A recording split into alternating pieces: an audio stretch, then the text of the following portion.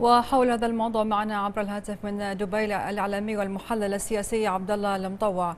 مساء الخير أستاذ عبد الله بداية المتابع للقاء حمد بن جاسم يرى الكثير من التناقضات والارتباك في إجابات رئيس الوزراء وزير الخارجية القطري السابق.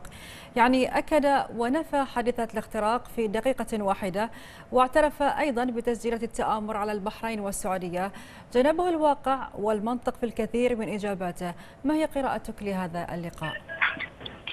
حقيقة يعني هذا اللقاء كان له هدف واضح واستراتيجي من خلال يعني ما يطمح إليه الشيخ آه، حمد من غسل العار والظهور بمظهر البراءة لخداع المشاهد والمجتمع ولكن قد فات الأوان وانفضح آه، وانكشفت جميع الأوراق لدى النظام الحمدين الذي داعم للإرهاب واعترافاته في هذا الحديث كانت واضحة.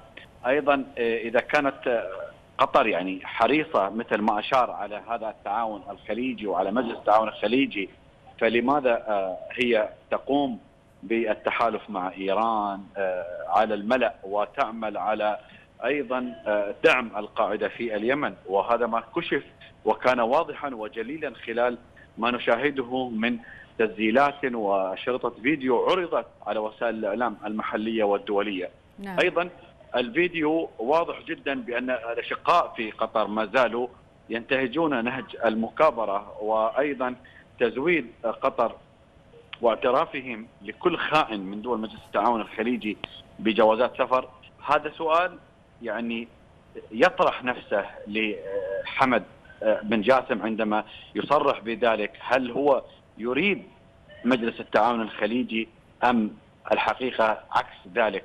فحقيقة آه، من أسس أيضا داعش في سيناء ومن يفتخر بذلك هم يفتخرون بذلك وهم يعملون أيضا على دعم آه، جماعات متطرفة أخرى وواضح من حديثه إن كانت النصر أو غيرها آه، من خلال الجماعات الإرهابية في سوريا أو غيرها من المناطق.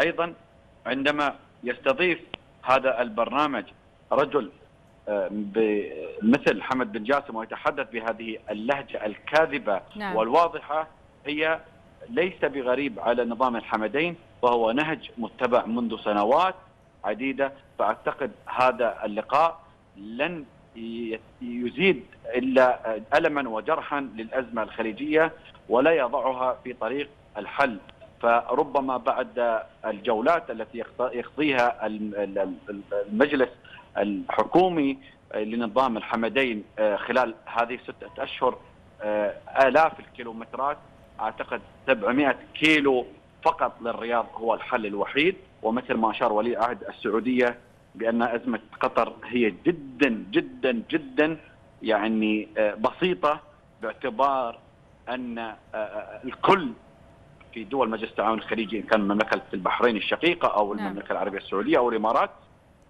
يوما وراء يوم آه، نناظر المستقبل وندشن مشاريعنا التنمويه والمشاريع التي آه، ستجعل تجعلنا بإذن الله أكثر تقدما في مصاف الدول المتقدمة وقطر ما زالت تبحث يمينا ويسارا وتعمل على تمويل ورشاوي المنظمات لتحسين صورتها لكن هذا كله لن ينفع الأزمة القطرية حاليا ولا مستقبلا. طيب أستاذ عبد الله في اعتقادك ما الذي يستفيده النظام القطري من وراء سياسة الكذب والمراوغة والخداع والانسلاق عن المحيط الخليجي والعربي الذي يتبعها منذ بدء الأزمة؟ حقيقة المراقب للوضع السياسي في العالم بأكمله من يتبع نظام لسياسته صعب جدا العزول عنه أو الرجوع عن هذا النظام أو هذه العملية التي كانت وما زالت لدى النظام القطري، نظام قطر نظام الحمدين هو النظام خائن منذ توليه الحكم بعد خيانته بوالده. نعم. هذا كان واضحا ومسجلا لدى التاريخ وصفحات التاريخ. لكن عندما يستمر في المراوغة والكذب والخداع وتمويل الإرهاب أعتقد ليس من السهل أن يرجع إلى طريق الصواب لأن مثل عملية الصلاح للإرهابيين والمتهمين بعمليات الإرهاب هذا نظام كامل أعتقد يحتاج إلى سنوات أو إلى فترة زمنية ربما لو أخذناها لا تضع قطر والشعب القطري الشقيق وشرفاء قطر في خطر مثل ما نشاهد ونتابع. لكن أعتقد عندما لجأ النظام الحمدين بعد كشف الأوراق بالاعتقالات والتصاريح الكاذبة أعتقد هذه هي بداية النهاية لهذا النظام وأعتقد سقوط هذا النظام هو الحل الوحيد لعودة قطر في حضن وضمن البيت الخليجي الذي ليس له غير هذا المكان الذي يليق بالشعب القطري الشقيق. نعم من دبي الاعلامي والمحلل السياسي عبد الله المطوع شكرا لك.